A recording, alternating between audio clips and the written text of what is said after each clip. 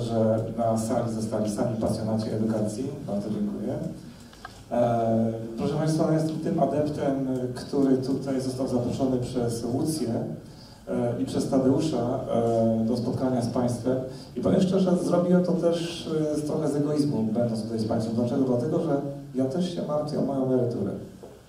Ponieważ jestem najstarszym tutaj, najstarszą osobą, która kończyła centrum, a więc w 1974 roku, więc to, tym zobowiązaniem, tą prezentacją postaram się Państwa zainteresować, od kogo się uczyć. Ken Robinson wspominał, że nasi uczniowie są tym, kim są nasi nauczyciele. Ale co to oznacza? My rozmawiamy o uczniach, o studentach, nie rozmawiamy o nauczycielach. Eee, kolejnym pytaniem, które sobie zadałem przed tą prezentacją, to właściwie pytanie, które, będzie, które wynikało z tego, o czym Tadeusz wspominał. Czy edukacja ma się uczyć od biznesu, czy biznes od edukacji? To, o czym dalej będę starał się Państwu tutaj rozwijać, dotyczy też prędkości rozwojowych. Zobaczcie Państwo na model, model uczenia się albo model pozycjonowania, niezależnie czy to jest biznes, czy edukacja. Jeżeli chcemy osiągać cele biznesowe, niewątpliwie one muszą być sparametryzowane. One są dla edukacji inne, dla biznesu inne, dla innych środowisk biznesowych również inne. Natomiast to, gdzie będziemy, albo jakie miejsce zajmiemy w biznesie, zależy od naszych prędkości rozwojowych, czyli wszystkich tych systemów czy narzędzi, które wspierają nasze prędkości. Natomiast efektem tych prędkości, tych narzędzi, efektem takiego benchmarkingu regionalnego jest też praca zespołowa. I ona jest tym kluczem do współpracy, o której mówił mój przedmówca. Jakby nie było, przy wsparciu centrum decyzyjnych, jeżeli poruszamy się w biznesie, w edukacji dobrą pracą zespołową, mamy właściwą prędkość, osiągamy cele biznesowe. Wyobrażacie sobie Państwo, że w tej łodzi biznesowej, na przykład niech to będzie firma produkująca telewizory, jeden wiosłuje w lewą stronę, drugi w prawą, inny ma cztery wiosła, a inny nie ma wcale. I to jest też taki element parafrazy, w jaki sposób praca zespołowa ma znaczenie, jeśli chodzi o, o, o cele biznesowe. Ale proszę Państwa, spójrzcie globalnie, bo my jako Philips nauczyliśmy się myśleć globalnie. Co nam gwarantuje e, nauka ze Zjednoczonej Europy? No, w procesie globalizacji Europa, świat gwarantują nam tylko i wyłącznie zmiany. O tym mówił Tadeusz. W Europie i świecie przegrywają ci, którzy różnią się prędkościami przemian. Czyli od kogo się uczyć? Okay? Mając świadomość faktu, że Philips e, jest na tym terenie już sporo czasu, dobre byłoby pytanie do regionu. Czego region się nauczył od Philipsa? No i oczywiście to, co jest bardzo istotne, uczenie się od lepszych jest najprostszym instrumentem budowania kompetencji. Proszę Państwa, ta wiedza jest dostępna tu i teraz. Ta wiedza w tej chwili już wypływa poza, poza, poza, poza ramy naszego koncernu. Żebyście Państwo spróbowali spojrzeć na edukację w sposób taki strukturalny, modelowy, to jeżeli przyjąć y, taką piramidę struktury edukacji, zaczynając od przedszkoli, szkół, szkół gimnazjalnych, średnich, wyższych uczelni, etc., etc., zawsze na końcu jest rynek pracy. Tam jest klient edukacji. Problem polega na tym, czy ta piramida ma właściwe wsparcie centr decyzyjnych. Czy centra decyzyjne autentycznie przejmują się relacjami klient-dostawca. Bardzo często, bardzo często się dzieje, że dyrektorzy szkół ze sobą nie współpracują, źle rywalizują, nie rozumieją zasady klient i dostawca. Ktoś by powiedział tak, ale co ma biznes wspólnego z edukacją? Odpowiedź jest bardzo prosta. Spójrzcie Państwo na ten schemat. Jak będziemy mówili o lecznictwie, mówimy tak o problemie, jakim jest chory pacjent, prawda? Dalej jest diagnoza, przygotowanie do leczenia, leczenie, rekonwalescencja, wypis ze szpitala, pacjent zdrowy. Tak wygląda proces w lecznictwie. Spójrzmy na sam dół. Szkoła. Otoczenie demograficzne, rynek uczniów, przygotowanie procesu produkcji, e, edukacji, przepraszam, edukacja, sprawdzenie jakości dyplom, dalej praca albo uczelnia. A więc porównując e, te procesy, niezależnie czy to będzie pole walki, biznes, szkoła czy lecznictwo, zawsze występują te same cechy modelowe funkcjonowania, funkcjonowania procesów. Różnimy się nieznacznie narzędziami, ale one dadzą się zastosować, to szczególnie z biznesu dadzą się zastosować również do innych, innych e, platform edukacyjnych.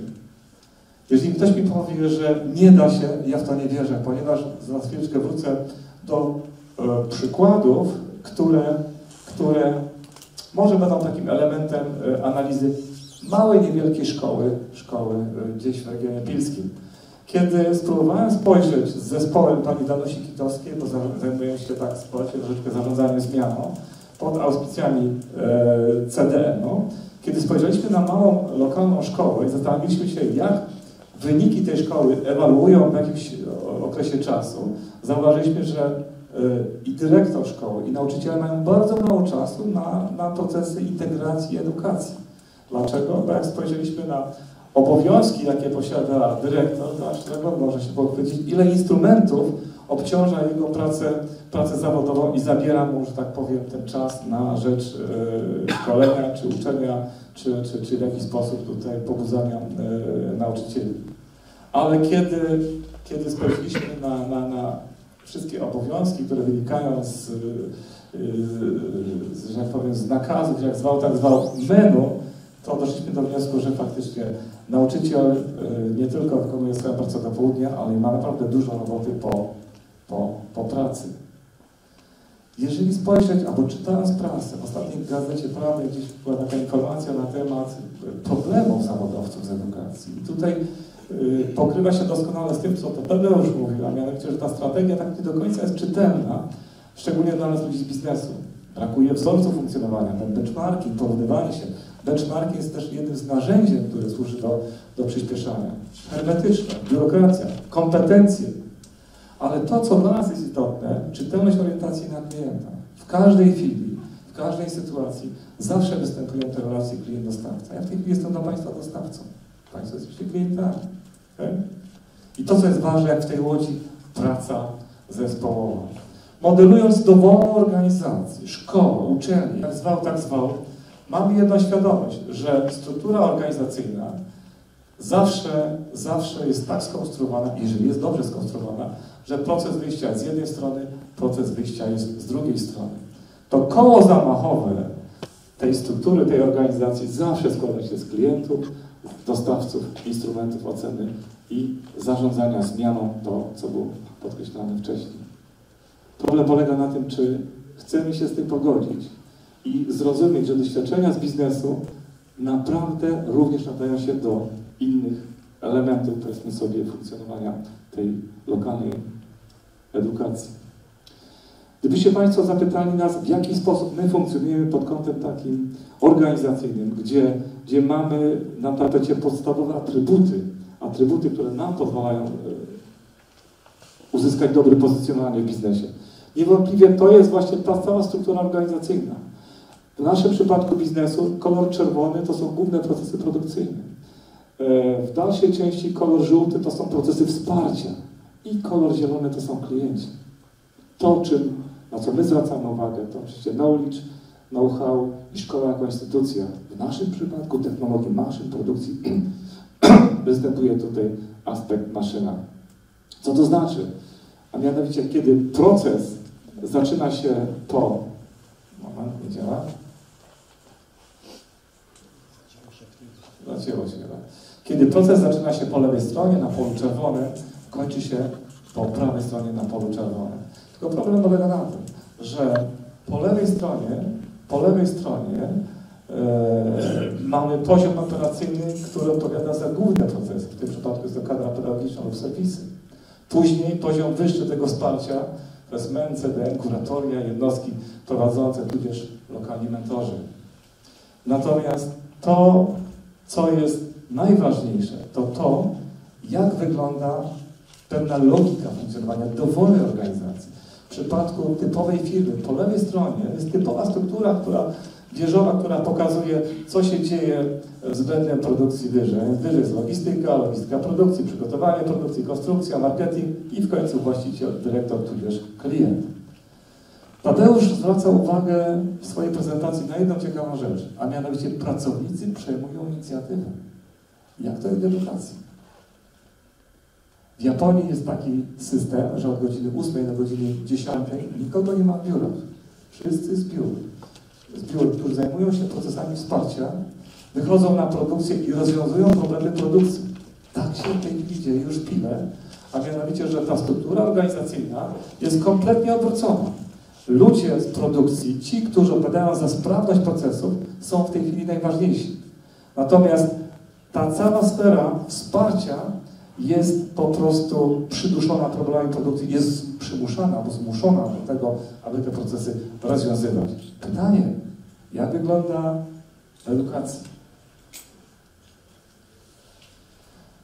Swojego czasu wspólnie z Danusią Kitowską e, na terenie CDN-u z naszym zespołem zbudowaliśmy taką, taką, takie koło zamachowe rozwoju, e, taką symulację koła zamachowego rozwoju edukacji w przełożeniu na efekt końcowy, jakim są, e, powiedzmy sobie, co wynika z elementu współpracy zawodowców z zawodowcami. Proszę Państwa, może nieistotne jest, co znajduje się na górnej części, ale jest to równanie matematyczne. W górnej części w liczniku są wszystkie działania, które wynikają z edukacji. Okay? Natomiast efektem tej edukacji, nazwijmy to zawodowcy, zawodowco, jest to, że ma to przełożenie na rynek pracy. Więc ile włożymy w edukację tutaj w górnej części, tyle dostaniemy e, w tych projektach e, rozwoju regionalnego który jest tutaj wymieniony w postaci może projektu miejsc pracy, może, może projekt studia, powiedzmy dla studentów y, Centralist Europe, może, może projekt zagospodarowania obwodnicy, nie wiem, nie jest to ważne. Dla nas jest ważne to, że próba zdefiniowania jednostek edukacyjnych, które mają wpływ na rozwój edukacji, e, byłaby właściwie tym początkiem wszystkiego tego, co mogłoby usprawnić, że tak powiem, te procesy edukacyjne z ukierunkowaniem na e, odpowiedź e, tej konferencji zawodowcy-zawodowcom. Skutek byłby taki, że ten element tutaj tej siły napędowej, a więc przemysł, czy też lokalne serwisy, na pewno miałyby tutaj o wiele ciekawszą platformę do, do rozwoju. Ale my możemy sobie tak opowiadać, prawda, że są takie sukcesy, są takie drogi i tak dalej, i tak dalej. Natomiast My w przeszłości, trochę czasami dla żartu na początku, a trochę i serio, zaczęliśmy robić różne fajne lokalne projekty pod auspicjami CDN-u i co się okazało? Wypaliło kilka firm naprawionych, kilka firm prze, e, nazwijmy to, które dokonały wielkich inwestycji, uczyły się nie tylko zarządzania, uczyły się nie tylko procesu, uczyły się też, uczyły się też różnego rodzaju form e, wspierania od gospodarki magazynami, gospodarki maszynami, dokumentacji konstrukcyjnej, dokumentacji procesowej, etc., etc. To jest podstawa dzisiaj funkcjonowania firm. Oczywiście idąc dalej, gdyby opowiadać dalej o schemacie takiej nauki z tymi szczególnie praktykami, to to, co jest istotne, to jeśli schemat organizacyjny przekłada się na procesową odpowiedzialność, a procesowa odpowiedzialność rozłożona jest na procesy podprocesy. Ta z kolei jest opisana dobrze w dokumentacji, automatycznie to ma przełożenie na kompetencje. I ten schemat, albo ten model, on da się zastosować e, wszędzie. A to to dowód. E, nie siliłem się, żeby Państwu pokazać wiele zdjęć, ale pokazuję jedno z wielu wdrożeń. Bardzo mi się to zdjęcie podoba, bo to zdjęcie zawiera bardzo wiele informacji. To są przedstawiciele jednej z fabryk na Berei Piły, dosyć sporej, 300-350 osób zatrudnionych. I wyobraźcie sobie Państwo, że ta firma miała dosyć poważne problemy. I oni ucząc się wspólnie, nie tylko na, na, na, na y, platformie CDM-u, czy tam jednej z uczelni, zaczynali sami projektować swoją firmę, a właściciel firmy absolutnie się do nie wtrącał. I ci pracownicy zbudowali sobie sami swoją firmę od strony procesów, od strony organizacji, również od strony edukacyjnej. No tak, no, my Polacy mamy taką wadę, że najlepiej to znamy się na wszystkich, mężczyźni na samochodach, na kobietach, prawda, etc. Można tutaj wiele opowiadać. Natomiast weźmy pod uwagę, proszę Państwa, jedną rzecz, że procesy edukacyjne nas samych, nas jako mentorów, tak bym to nazwał tutaj siedzących na sali, właściwie wymagają pewnych etapów e, swojego rozwoju, ale również doświadczenia. Problem polega na tym, że z chwilą pokonania pewnej drogi, stałej drogi, o Tadeusz o tym mówił, pewnego procesu, sprawdzonych wzorców, po jakimś czasie stajemy się zawodowcami. I w tym momencie możemy się dzielić z Państwem wiedzą. Natomiast problem u tych wszystkich, którzy chcą tę drogę pominąć i nagle stają się pseudo-zawodowcami, to właśnie ci zawodnicy, te jednostki, one nie są w stanie dostrzec wszystkich procesów, które są, odbywają się tutaj na dole. Przez te chmury tego nie widać. Dlatego profesjonalizm wymaga pewnego modelu, pewnego wzorca. Być może, być może nasze metody czy nasze struktury filipsowskie się nadają do powielania. To jest temat otwarty. Natomiast ważne jest e, takie motto, ja nie pamiętam, kto jest autorem tego motto, że nie można się spodziewać podjęcia odpowiedzialności od ludzi nierozumiejących stawianych im zadań i nie znających perspektywy. Ale ludzie, którzy rozumieją zadania i znają perspektywy, nie mogą uniknąć odpowiedzialności. Kończąc, takie pytanie do nas wszystkich. Kim chcemy być w regionalnej edukacji? Amatorami? Profesjonalistami? Tudzież mistrzami? Żeby stanąć tutaj przed Państwem, e, każdy z nas, zresztą Państwo znacie swoją karierę, ja też miałem swoich mentorów. Dyrektor Łapa, profesor e, Sochacki, profesor Chorowski. I tym ludziom dzisiaj, tacy jak ja, spłacają dług tą wiedzą, jaką Państwu prezentują, prezentuję. Natomiast jeden z mentorów ostatnio zapytał mnie o taką rzecz. Wojciech, Ty już masz jakiś tam poziom wiedzy. Ja mówię, nie, są lepsi ode mnie. Jak sądzisz, co byś wybrał w życiu? Być aktorem czy reżyserem? Ja chcę być reżyserem. Czego Państwu życzę. Dziękuję bardzo.